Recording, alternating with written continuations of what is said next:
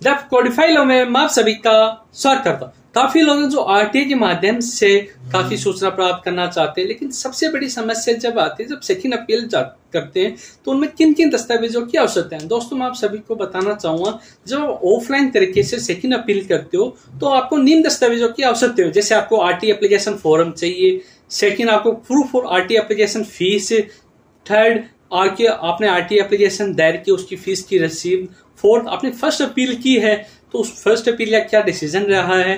और first appeal के application number plus उसका फॉरम सेकेंड आप जब सेकेंड अपील करते हो तो आपने एक, आपको एक अप्लीकेशन लिखनी होती है अपने कब आरटी दायर की, आरटी एप्लीकेशन नंबर क्या है। आपको किन किन सूचना प्राप्त किन किन सूचना मांगी गई की प्रथ अपील अपील में क्या डिसीज़न आया? आपको क्या डिसीज़न में किन किन सूचना प्राप्त की प्राप्त की गई? वो क्या सूचना सही है या गलत है? ये चीज़ें आपको सेकेंड अपील करते हो तो ड्राफ्ट में आपको लिखनी होगी।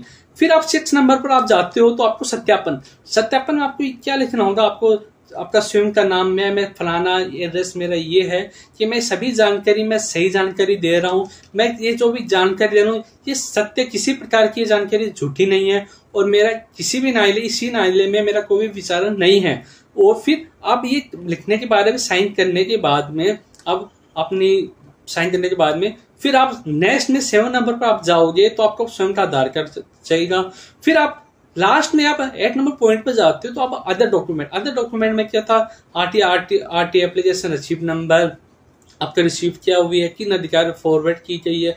प्रशासन द्वारा आपको क्या क्या सूचना प्राप्त की गई है? वो सभी आप लेटर की फ़ोटो भी आप लगा के आप उस जो भी आपको सूचना, राज्य सूचना आयोग आपका जहाँ भी है, वहाँ आपको बाई पोस्ट आप लगा सकते हो। और लगाने के बाद में अगर किसी भी डॉक्यूमेंट की आपकी कमी है कमी है किन की दस्तावेजों की आवश्यकता है तो आपको लेटर द्वारा आपको सूचना प्राप्त की जाएगी और आपको मैक्सिमम पंद्रह दिन का टाइम दिया जाएगा। ये सूचना आपको पंद्रह दिन के भीतर भीतर आपको ये राज्य सूचना आयोग में जमा करवानी है। अगर खुदा खास्ता आपको ये सूचना प्राप्त होती है, अगर किसी कारणवश आप में वो पंद्रह दिन के भीतर जो आपकी नोटिस मिला तो कोई सूचना आपको ये दोबारा से देनी है या दस्तावेजों की कमी है तो कोई भी चीज़ों में आप भूल जाते हो या आपको लेट प्राप्त होता है तो दोस्तों, आपको सब, कोई घबराने की ज़रूरत नहीं होती। आप उसमें एक एप्लीकेशन लिख सकते हो, ये सूचना मुझे इस तारीख को लेटर प्राप्त हुआ मैं स्पेसिफाई आप रीजन दे सकते हो। फिर रीजन देने के बाद में उसके साथ अपना सम का एड्रेस लगा के आप वो जिन दस्तावेजों की आवश्यकता है वो आप लगा सकते हो।